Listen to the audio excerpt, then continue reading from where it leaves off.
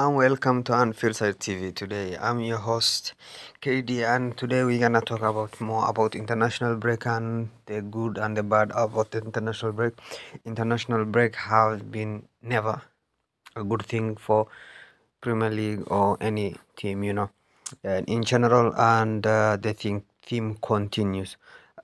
Players coming back tired, players, you know, and it was just for international friendly, you know, there was nothing special about it just for them to have more games you know to play for a season. And you know like it was really really unnecessary in my opinion.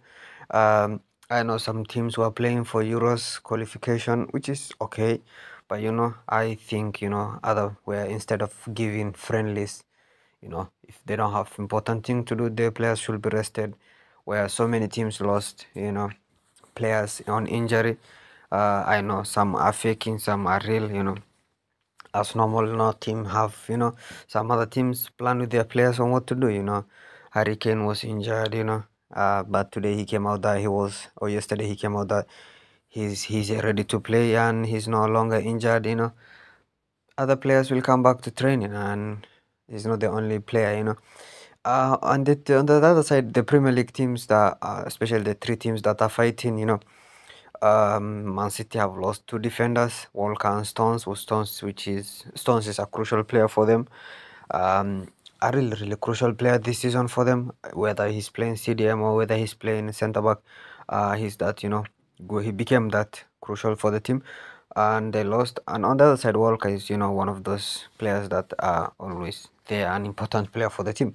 And they lost. On the other side, Arsenal lost Bukayo Saka, if I'm not wrong, uh, on injury but he didn't play anything. He got injured before, you know, the and these two teams are playing one another this weekend, and you see, like it has a massive impact on the Premier League.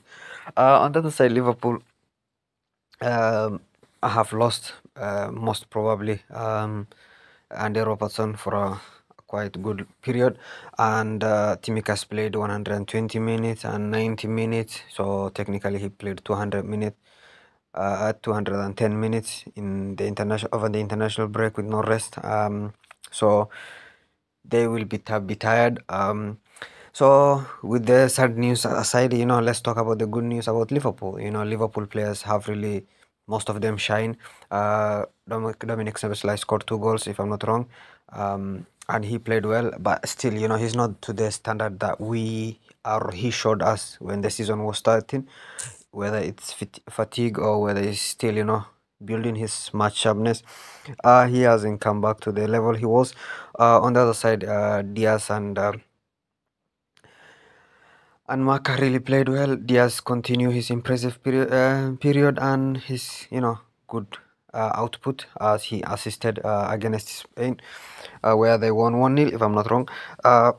And he really played well you know in that game. Uh, i didn't watch the other game where he played around 70 minutes and he was taken off. Um, maka also played really well. And maka i couldn't watch because the time he was playing the second game was really bad. For me it was super early in the morning like four four in the morning. I couldn't be awake to watch that game. Uh, uh, so and he scored a goal. And you know, Maka this season has just been that player, you know. No one expected to be, and you know, everybody was doubting him. But you know, what's what a season it has become.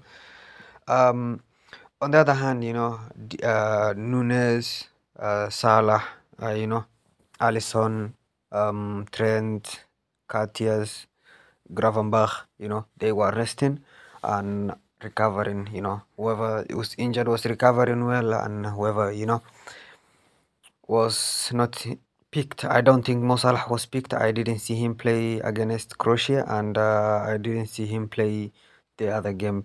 He wasn't in the squad the other game but i don't know. He posted on his story yesterday that he was recovering so that means maybe he played against croatia. I checked their lineups but i didn't see him. So yeah.